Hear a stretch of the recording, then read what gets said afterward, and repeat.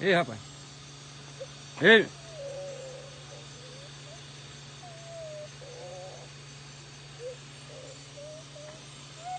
Olha o que é um casal irresponsável.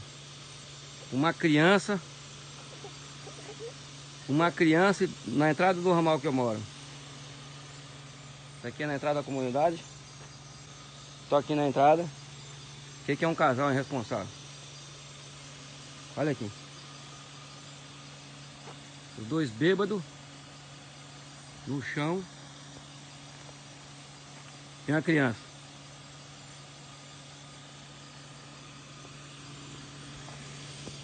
Ei, parceiro.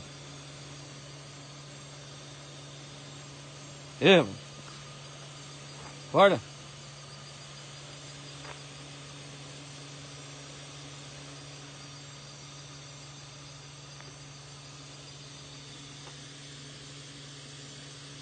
Olha a situação para vocês verem.